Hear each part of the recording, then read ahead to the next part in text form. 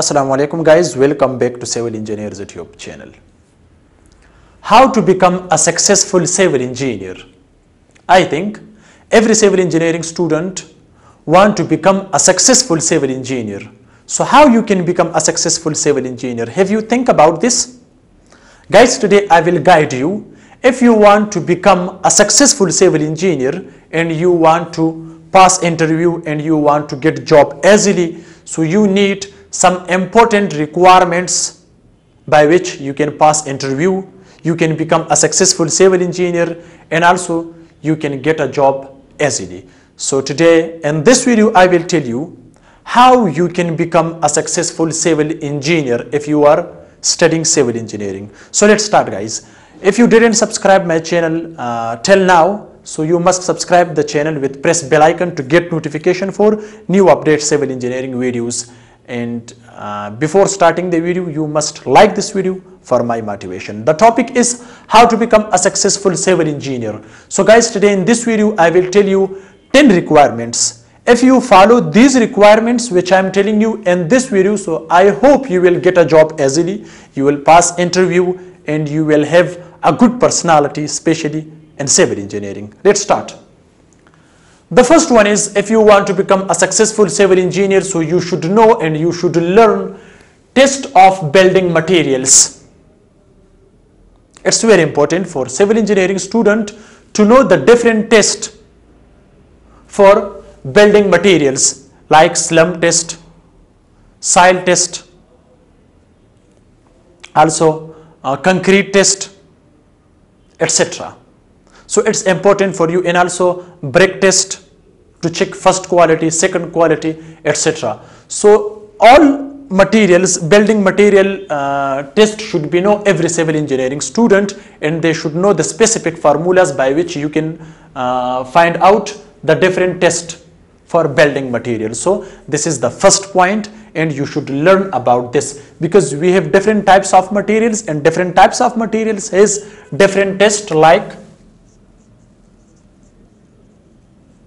slump test.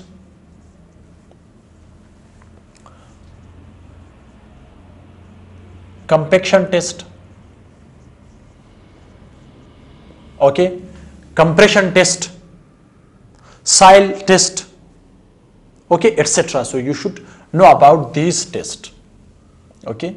Etc guys the second one is investigation of soil Civil engineering student should also be know about investigation of soil, about its bearing capacity of soil, how to check bearing capacity of soil, what, uh, uh, what type of uh, test we can do to check the bearing capacity of soil, stability of soil before starting building construction on any soil, so you should check its stability.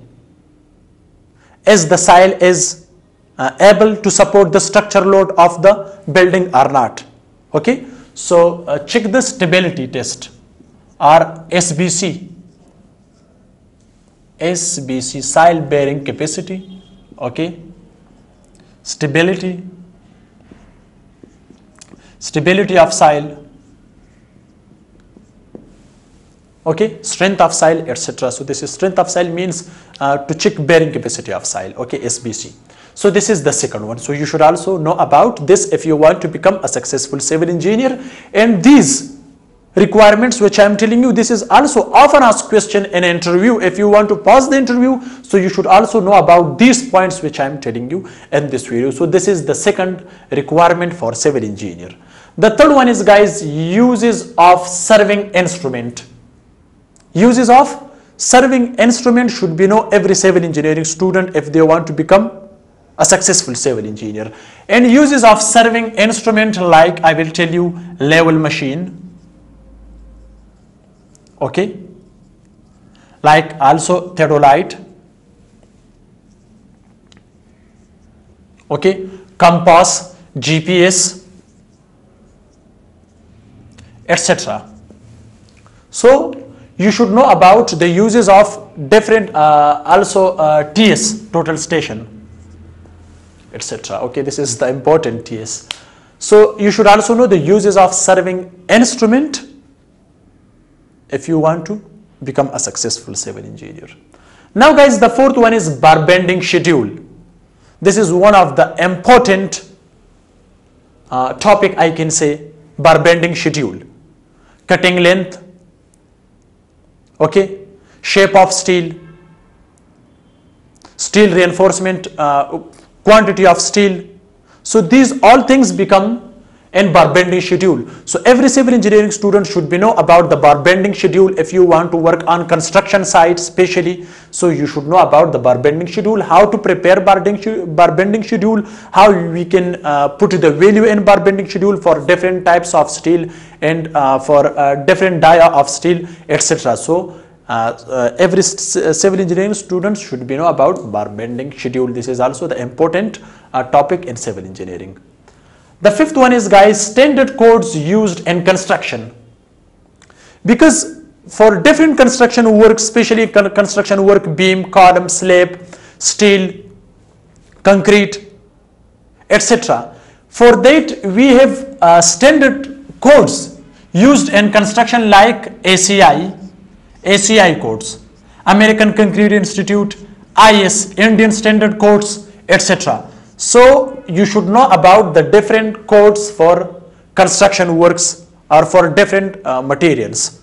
You should know about especially for, for drawing for steel structure, for uh, cement, for beam, column, for slab, for all elements which we are using in building construction or which we are construction, uh, construction and building construction. So for that we have different codes and different books and different uh, ACI codes specially, also in IS codes, etc. Okay, so uh, civil engineering students should also be know about the standard codes for civil engineering construction, okay, which are using in civil engineering construction.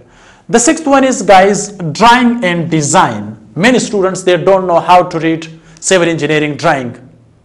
They don't know how to read structure drawing in civil engineering. They don't know about design, drawing and design so you should get knowledge about drawing and also its design. So you should know about the steel structure design and the different assembles which we are using in drawing. So it is helpful for you uh, in civil engineering. So therefore, if you don't know about the uh, drawing, how to read civil engineering drawing, so if you don't know, so I think you are not able to start your construction and you are not able uh, to do something uh, on site. So therefore drawing is must. Okay. The seventh one is estimation and bills. How to prepare bill and estimations especially for materials which we are using in construction. How to prepare bill. So you should also study for this. If you don't know, so you should research for this and you should ask from your teacher, ask from uh, someone which are working on site and you can also search in YouTube. I've already discussed in many videos how to prepare bill and estimations. I have also uh, different videos. Okay. Guys, the eighth one is quality control. This is also the important for civil engineering student. If you want to become a successful civil engineer, so you should also know about the quality control, how to make quality control on site. Okay. How to reduce cost of project in quality control, we should know how to make a quality, how to uh, reduce the cost of project, how to bring more advantages to project, how you can make a good project, how you can bring more facilities in the project without more cost. Okay, by low cost, how you can bring good quality. Okay, this is also the part of building. Guys, the ninth one is on-field management. On-field management should be know every civil engineering student if they want to become a good civil engineer. So on-field management like formwork, shuttering, and civil engineering students should be know how to measure beam, column, slab, how to find volume, you should know about the density of different materials so all these things on field management. So you should also know on field management how to fix formwork so you will not fix the formwork so you should know uh, removal of formwork how to check formwork okay? So uh, this is also the part of building construction. Guys the last one is the very important if uh, you don't know about this one and if you don't know uh, if you don't want to follow this one so i think uh, he is not a good civil engineer and he is not a successful civil engineer that is coordination with laborers. If you don't have good coordination okay so if you don't follow good uh, uh, coordination with labor now guys the last one is very important. So every civil engineering uh, student and civil engineer should be know the coordination with laborers you should have good behavior with labor. Okay? So if your relationship is not good with labor so you are not able to complete your project to bring quality control because you will have good relationship.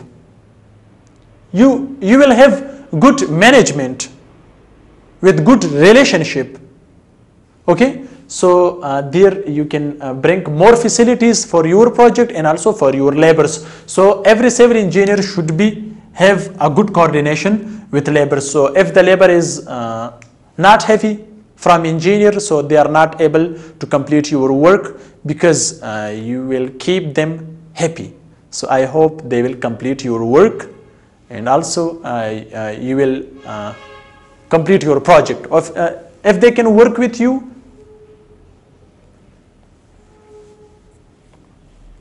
okay guys so okay guys so these are some important points which I've discussed the front of you, how to become a successful civil engineer. And I've already discussed these are often asked question in an interview they can ask from you. So if you want to become a successful civil engineer and uh, if you want to have a good personality in civil engineering, so you should keep in your mind these things and you should research for these how you can complete these 10 requirements which I have discussed the front of you. So guys, if you have any question related with this topic, so you can comments. I will try to reply your answer. Thanks for watching. See you in next video. Goodbye.